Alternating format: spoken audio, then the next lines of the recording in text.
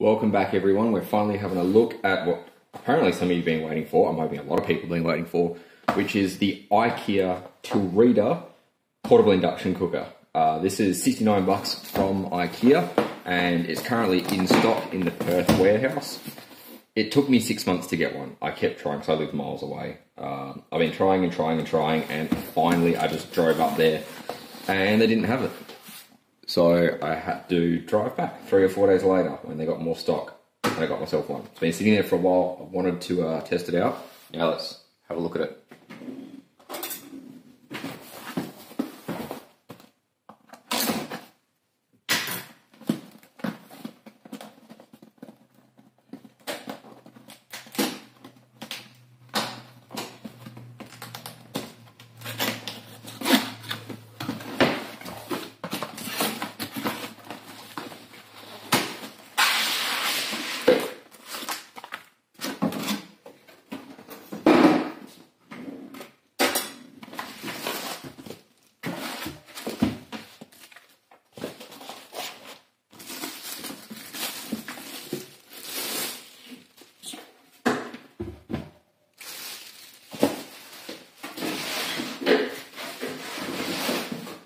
Alright, so first things first, the actual unit itself looks a fair bit smaller. That's about 30 centimetres by 20 centimetres. The others usually come out uh, a bit more.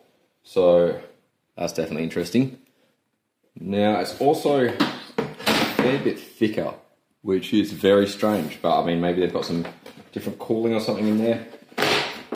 All four of the legs are rubber. That's really good. We can see there is a big fan there that looks like it's about 120 mil. Uh, we have a hook at the top actually because IKEA have it demonstrated as hanging up. I wonder if my focus is working today. I did not check my focus mode. Uh, I think my focus mode's fine. They're probably the right buttons. Again, really glossy top. I don't like that. I like the fingerprints. I don't know why they don't have matte. Maybe it's just because it's glass. There are certainly other things they could do. Um, it's not too heavy. It's fairly light. It feels like a good quality plastic. Model Tillreda 404-93509, rated for 2000 watts. Uh, we're going to test that. Now, we're also going to test it with something that we'll have two products in one video. This is the Arlec Grid Connect PC191HA. This is the black version. Uh, I realised I didn't actually have any power metering sockets left at home, so I quickly ran and grabbed one of these. It's not flashed yet, but I've just added it to a spare phone I've got so that we can track the energy. Let's have a look at this and do the standard tests. Alright, so first and foremost, let's have a quick look at the user interface. I will have a quick gander at the menu. Uh, it's not a menu, is it? It's a user manual. Also doesn't say that. Doesn't say anything on there. So the buttons, we've got the heating area there, which it describes as 175 millimeters, so about half that. Uh, if that's the entire heating area, I'll be impressed, but we're going to test that too. Main thing is the buttons. We've got on off, power level, and child lock. So it's lacking a lot of the other features. You can see there is actually an equivalent here. So if that's focused, hopefully, uh, you got the amount of wattage each one should draw. There's no Celsius or um, freedom unit setting or anything like that. So I think that's good and bad because it's not realistic. It's really, really uh, indicative. But let's chuck just a big thermal mass on there. And ooh, actually, we'll see what it does first. We'll make sure it errors out we turn this on, we'll be able to see here what it's drawing. I haven't actually tried this app in a long time now because you know how much I hate it. Uh, Arlec, Deta, Grid Connect, whatever you want to be called, is terrible. I'm just hoping I can still flash this one, otherwise I'm going to smash it with a hammer and take the bits out of the inside because they're more useful than this is as a product. Looks like it doesn't update very quick. That is fucking excellent. I don't... I don't want you... No. That's half the reason I hate it. Okay. It might update quick, but we're not drawing any current, so... It's not very happy not having thermal mass on there. Let's give it some. Is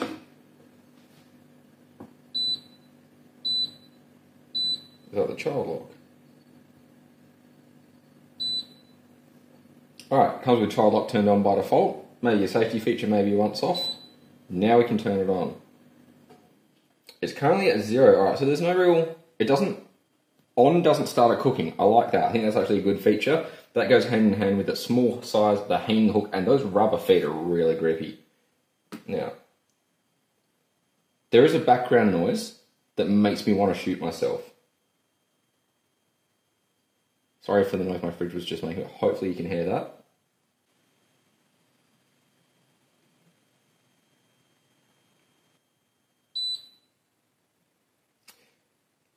That's hugely irritating. Um, you could probably clearly stop then. I'll try to amplify a little bit maybe, uh, and I'll make sure I don't use the background noise reduction on that bit. So, let's see. hear the fan going. The fan really doesn't have great bearings either.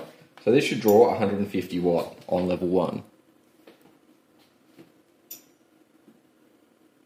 Does this want to update? There's a weird ticking too. Okay, now it's actually drawing power. I don't know what that ticking was.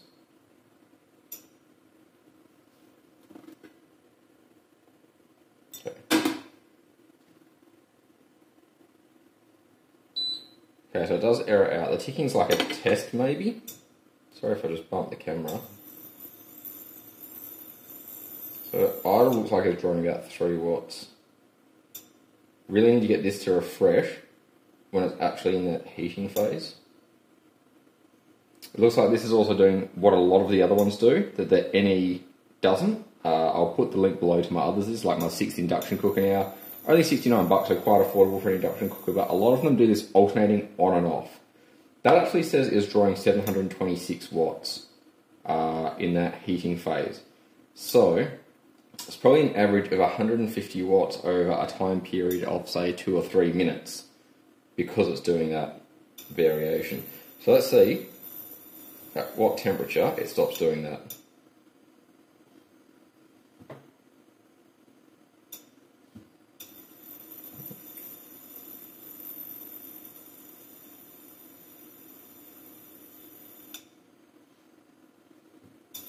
shouldn't say what temperature, I should say at what setting. It's, uh, it's not a temperature. I don't have my thermal gun here, but we'll be able to tell when it's 100 degrees because that'll be bubbling its balls off.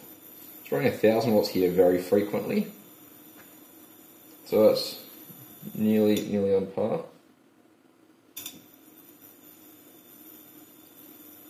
So it looks like it can control its power to some degree. It was drawing only 700 watts before, that might have been a slight misreading. But it is capable of sitting there. What I think is, yeah, going to be setting 5 is continuous at 1100 watts, and it is nearly bang on.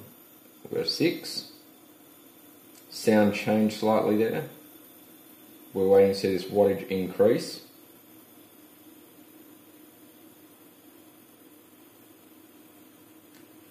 Wonder if I can just refresh this. Uh, it refreshes when it wants. This is another reason I hate these terrible, terrible things.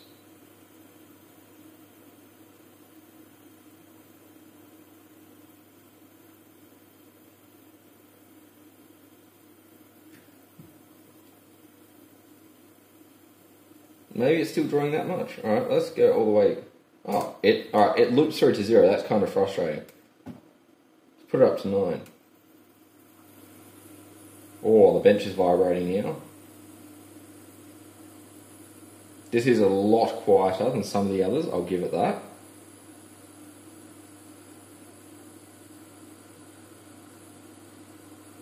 Eighteen hundred watts. We'll give it another minute and see if it's like an average that picks up. Eighteen hundred fourteen point four.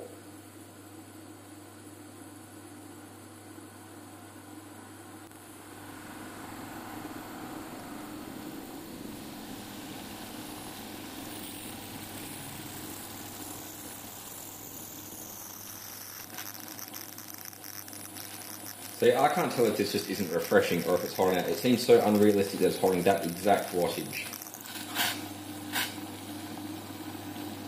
Just trying to get a bit of steam away from the camera there in case the lens is fogging up. Doesn't look like it from here. Can't see the screen too well there. What if zero?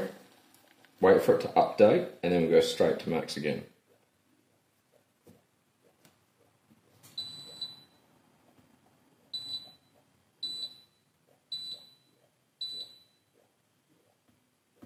What does H mean? Okay. Recommended cookware diameter uh, 12 to 20 centimeters. Middle rear cooking zone. what the hell is H? I'm only, I can only assume it's too hot. Yeah, here we go. Residual heat indicator. If display shows H, the cooking zone is still hot. When it cools down, the display goes off again. Use residual heat for melting and keeping food warm. Alright, that's cool. Okay, yeah, I get you. So it's turned off, but it's just saying, hey, it's still a bit hot. Even in this off mode, it's making that irritating noise. Sorry about my fridge noises. So, straight to 9, wait for this to refresh. Actually, let's go as quickly as possible. So, on, child lock off, power on, straight to 9.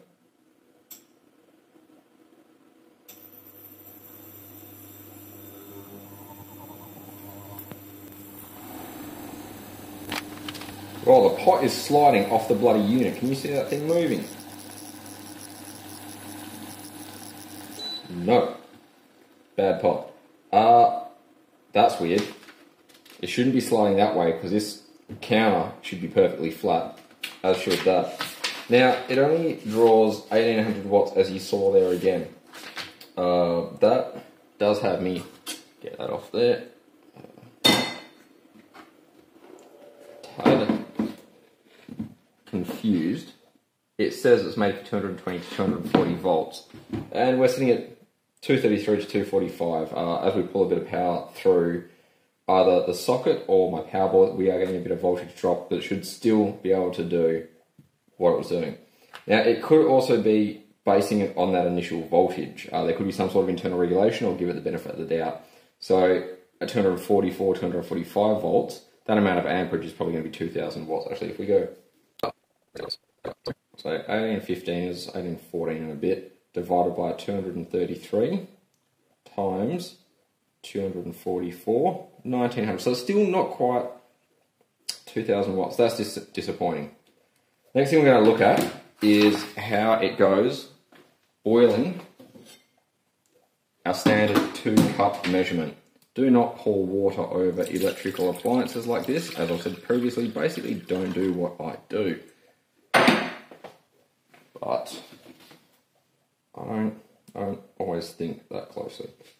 So now, if we grab the clock, if I can remember how to with this phone,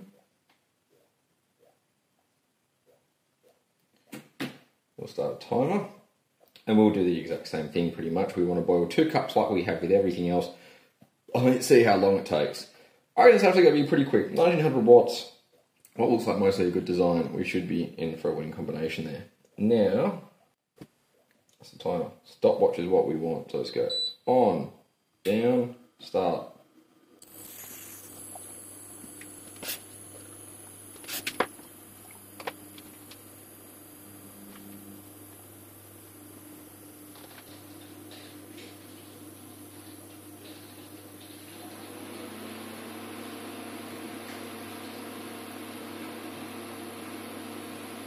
That's new. That fan has really cranked up. I don't think it was that loud before, was it?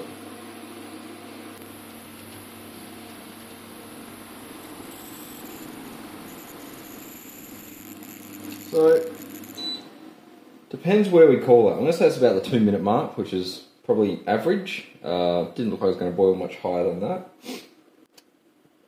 I don't know what that was, unless it is a fan, you can hear the fan still going. That was like the fan just shot up and was off to the races then. Unless there's two fans in there, or that was the induction cooker hitting a harmonic. Let's see how quickly it does it.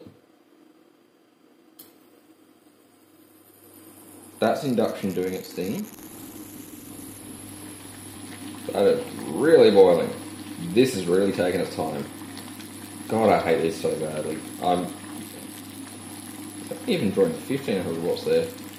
I'm gonna put some more water in it so you can get that's got to be an average. That's another terrible thing. It should be know, average it over a one second read. Poll it 10 times in one second. Uh, most chips are good enough to poll at least once every 10 seconds, maybe. You can give it a minutely read No, that no. Poll every ten seconds, uh, eh, ten times a second. Give secondary readings. I reckon that's the way to go. What most of the others do. Gonna chuck some more water into this, just to slide down a bit, and we'll see.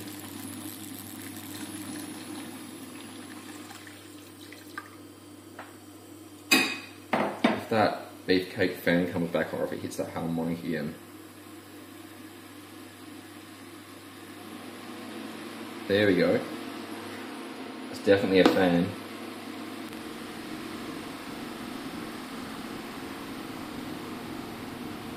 And this has to refresh and show a different number. That fan is drawing more current. That fan would typically draw a couple of watts at what at least like three more three more watts. Those numbers just don't add up.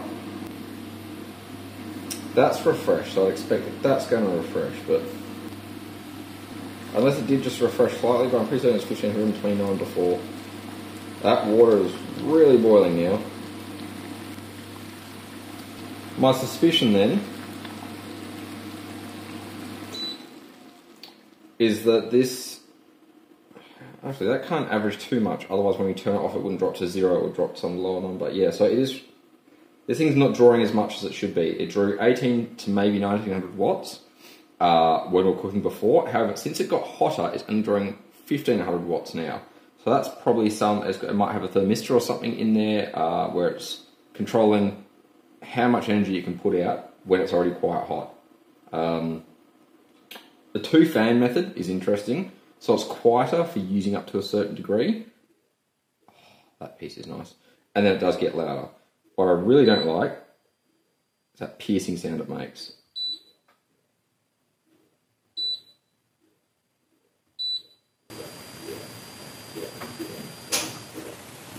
That is so much better with it turned off. Alright, we're going to do the last test now, which is just to see how big this heating area actually is. For that, I'm going to quickly grab my ruler. It says the heating area, oh this messy ruler, is 17 centimetres, so it's, it's saying the width of those marks, but they're never telling the truth, are they? We've learned that before. So, I'm going to get my IKEA fry pan in here, which fits its specifications. I'd, actually, I didn't measure it, but I'd expect the base looks like it fits pretty nicely. And we're going to see how big that heating area is just using a wet cloth. I think there was a viewer that actually suggested a different or a better way of doing this. Uh, I could get a thermal camera too, but a fairly thin pan with a wet cloth shows us very quickly where all the heat is because that water is going to boil off. We want it fairly uniform, of course. Alright, I'll say that's good enough. That piercing sound is awful. I'm giving this to a friend who's partially deaf because I cannot use this. It is one of the worst features. It's worse than it not actually doing what it describes. So, let's take it up to a 6 because we know it's consistent then. And let's see where this thaws out first and measure the size of it. I mean, where it boils. Thawing out's kind of close. If it was ice, it would be thawing out.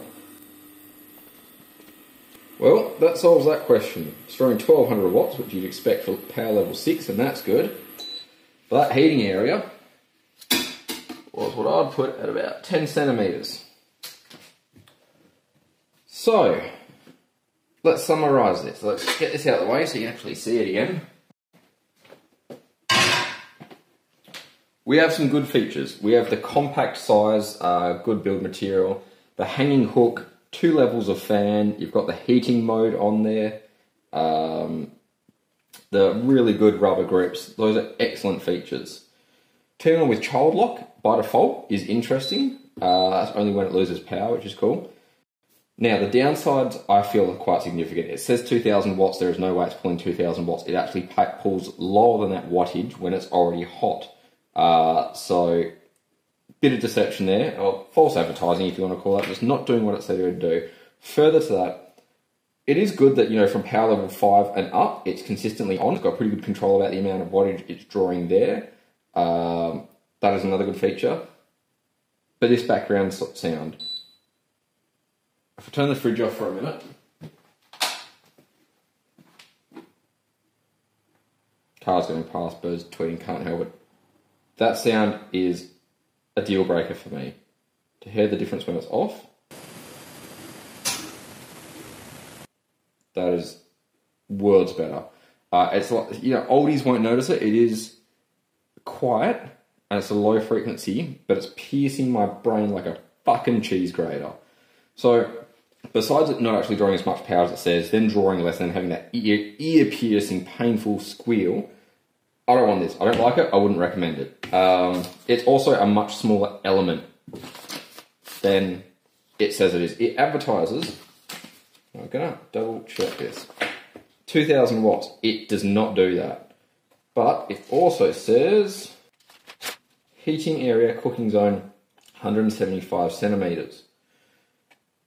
That can't be where it's saying to cook your food because it says that the recommended fry pan is 12 to 120 to 200 millimeters or 12 to 20 centimeters, uh, which is going to be about 4 to 6 inches. So it just doesn't do what it advertises to do. I'm going to give it to my mate. He can use it up in the city because he does all sorts of cooking. 69 bucks, it's fine for someone who can't hear that sound or doesn't need high temperatures. Uh, I need both of those things. I need to bring things to the boil rapidly when I'm making sauces and soups, mostly sauces, and that piercing sound really kills me. So he can have it. If those things don't bother you, go for it. Um, I'd reckon it's quite durable, it's definitely quite safe. Leave your thoughts below. If there's something else you want me to test with it, let me know. I'm more than happy to. Same as this, uh, I'll Grid Connect Deta whatever PC191HA garbage. The app's crap. It keeps requesting for location. It doesn't need it. it keeps wanting to create an account. Doesn't refresh too frequently. It's it's really a pain in the ass all in all. So that's a no for me on both of these appliances. There's the box for the thing not to buy. Any other questions? You know where I am. These are becoming probably two weekly now because I'm running three channels. So there's also the gaming channel, which is going nowhere fast because I don't really play much games or put any effort in, and then the Tinkers channel, which is where I'm going to start smacking these things with a hammer more often. So if you want to see this pulled apart, have a look over there. Otherwise, I'll catch you guys next time.